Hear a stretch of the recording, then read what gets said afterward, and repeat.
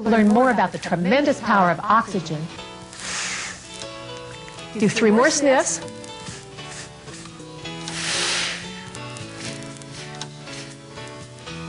I've invited a few friends to join me. Are you ready to get rid of some of that extra fat?